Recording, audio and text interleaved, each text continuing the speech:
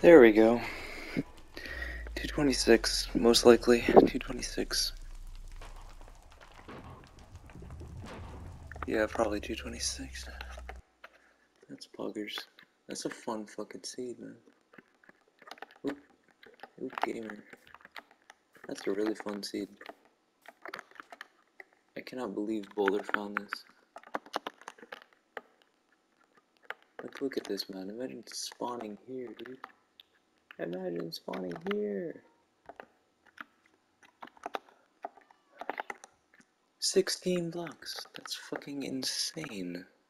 That is mental. And then you get this nice little fucking cave shit down here, and then you just mine your way through, and then you're in the end. Cool.